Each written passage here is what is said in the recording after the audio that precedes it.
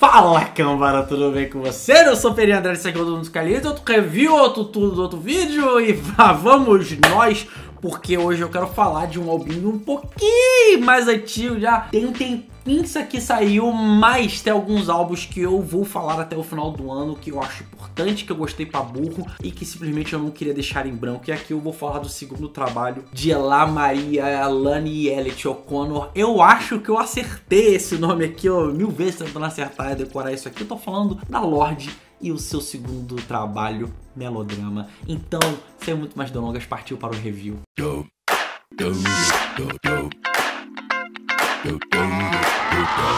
Quatro anos nos separam do primeiro trabalho de Lorde para esse segundo trabalho, o Pura Heroine de 2013, aqui Melodrama de 2017. E nós vemos do primeiro para esse segundo trabalho uma evolução, um salto de qualidade imenso comparado ao primeiro trabalho, por mais que o primeiro trabalho já tivesse muita qualidade, já fosse um trabalho extremamente único, com uma presença, um carisma, criatividade, uma, uma identidade muito própria. Lorde virou parâmetro com aquele trabalho, seja no seu jeito de dialogar ou questionar a juventude extremamente superficial, materialista, vazia, egocêntrica, não só fazer esses questionamentos, mas no seu jeito também de falar de um jeito meio ácido, crítico, soturno e a sua sonoridade que refletia bastante isso, seja no seu jeito de cantar, de se expressar, ou nas suas próprias batidas, melodias, arranjos que eram uma coisa mais R&B,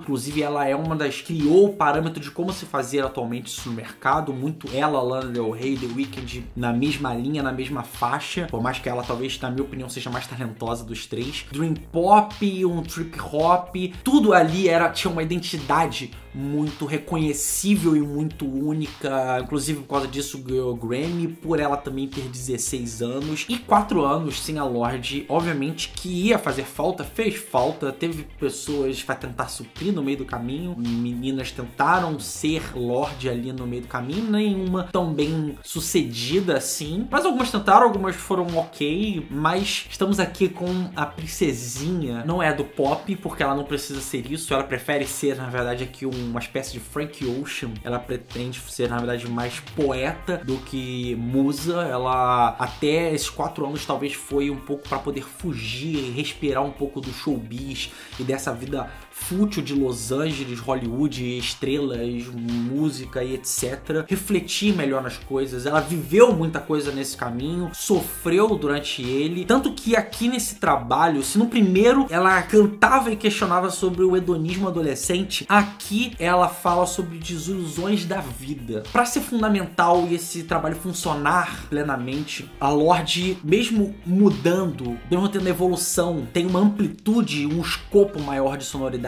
aqui. Ele, em vez de ser tão dream pop, tão R&B alternativo, ele é muito mais pop. Ele flerta, ainda que com indie, com eletrônico e com esses estilos que eu falei antes, mais com new wave e com o popzão por vezes que cai para Madonna. Taylor Swift fica entre um e outra, uma veia oitentista ali na sonoridade, muito por causa disso do Jack Antonoff, o produtor do álbum, ele e a Lorde meio que fizeram sozinho tudo do álbum, letras, arranjos, melodias, estrutura de música e etc quase intimista com o trabalho dele, o Bleachers. Ele é um cara, ele entende bem como fazer esse flerte com o pop e de um jeito que não só ele deu um up, ele deu uma acrescentada, ele deu uma expandida e uma acentuada nas, nas características da Lorde, como não, não apagou elas. Isso, inclusive, é uma característica muito forte do porquê isso aqui deu certo, junto com as letras, quanto que a Lorde mantém suas convicções. E até, inclusive, eu acho que é um próprio tema do álbum, porque é, é, é como se fosse o estudo da Lorde sobre ser uma jovem mulher que encontra a sua própria convicção em circunstâncias instáveis.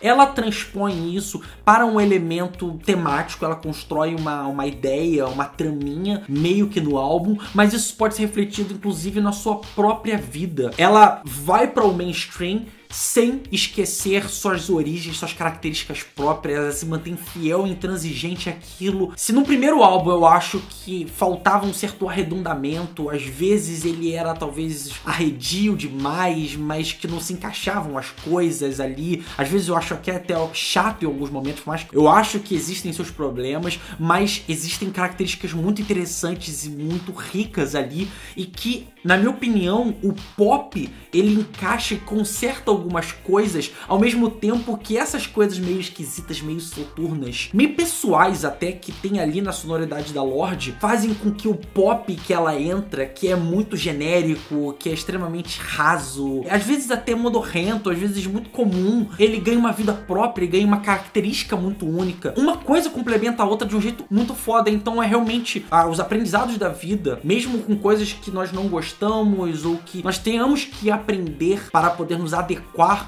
ainda assim nós podemos pegar isso para crescimento próprio. A história do álbum se passa durante uma festa de jovens em uma casa quando os adultos não estão, obviamente. Os convidados se pegam, tem briga, eles se amam, vão pra cama, bebem, tomam drogas ilícitas ou lícitas e no meio de tudo isso a Lorde rompe com o namorado, inclusive ela passou por um, ter um término de relacionamento nesse tempo aí. Ela pensa a respeito disso, vai e volta da festa e reflete sobre como é estar só. E ela aprende que às vezes dançar sozinha, às vezes você não ter a companhia do outro, não significa que é o fim do mundo. Se ama mais, se conhece mais. Nessas letras ela ainda ficou mais afiada, sagaz, ainda tem o mesmo humor autodepreciativo e icônico de antes. Quando o álbum acaba, quando as luzes se apagam, você ainda consegue ficar com ele na cabeça, ecoante, seja nas mensagens, seja nas melodias. A voz da Lorde é uma grande